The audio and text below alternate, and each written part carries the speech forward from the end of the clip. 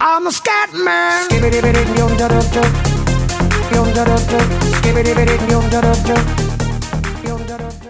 Hey, Hookah Domain, time for some hookah hookah champagne. All right, let's taste the bubbly. Once again, the Dare Clown, yada yada yada.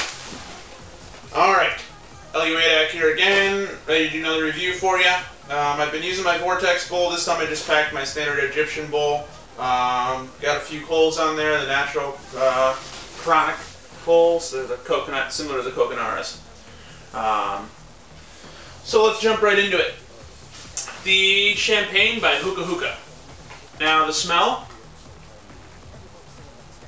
definitely champagne. Um, I asked a few people to try it. I didn't. I mean, to take a smell before I told them what it was. They couldn't pinpoint it. As soon as I told them it comes in a bottle, they were boom, it's champagne. So it definitely tosses out that flavor immediately, like a bottle of bubbly. It smells like champagne. It smells good. So again, standard hookah hookah cut, finely shredded, not syrupy, but very wet. So let's move on. Now, smoke quality.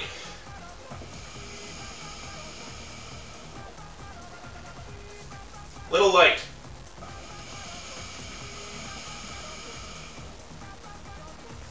It's decent. Again, it's medium.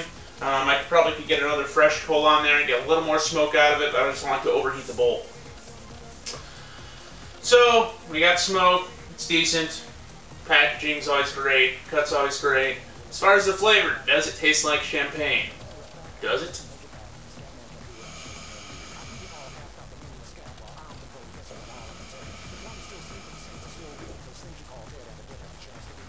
Well, I can tell you, even when smoking it, I get that subtle hint and the smell of the champagne.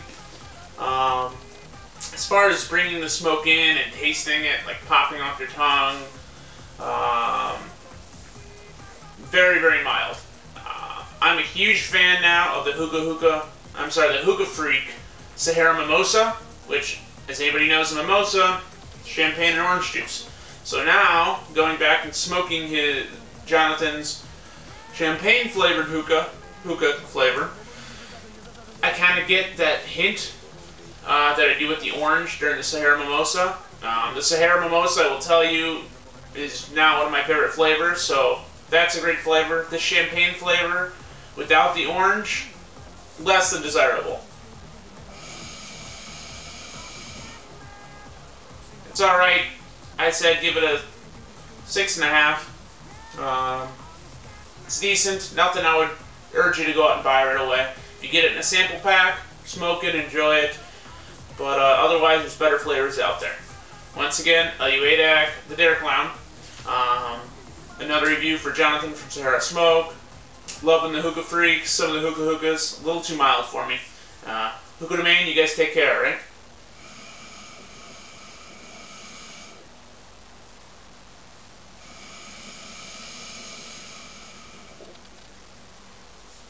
Hookah man. You are ridiculous!